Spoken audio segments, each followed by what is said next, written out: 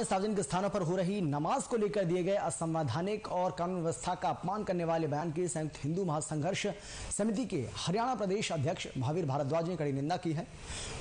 उन्होंने एक प्रेस वार्ता के दौरान कहा है कि ओवैसी नमाज़ के विषय में गलत बयानबाजी कर और भड़काऊ ट्वीट करके गुरुग्राम का ही नहीं, बल्कि समूचे भारत का माहौल खराब कर रहे हैं। ओवैसी ओछी राजनीति के तहत एक वकील होकर असंवैधानिक और गैर कानूनी बयान दे रहे हैं। ये बहुत ही शर्मनाक है।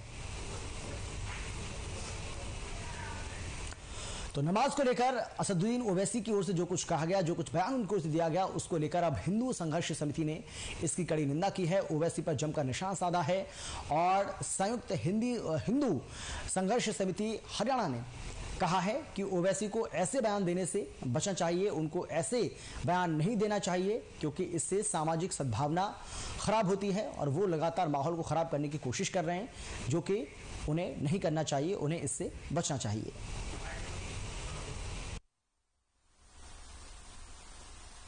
ओवैसी जैसा व्यक्ति ना ये व्यक्ति मुसलमानों का रक्षक है, ना हितेशी है, ना ये हमारे भारतवर्ष का हितेशी है। और मैं आपके माध्यम से ओवैसी को इस बात बड़े अच्छे तरीके से समझा देना चाहता हूँ कि वो जो मुस्लिम और हिंदू समाज के बीच में नफरत पैदा करने का काम कर रहे हैं, वो ज़्यादा दिन चलने वाला नहीं है। और इस प्रकार की भाषा से वो मुस्लिमों का ना समर्थन प्राप्त कर पाएँगे और ना ही वो जो है हिंदुओं का समर्थन प्राप्त कर पाएँगे।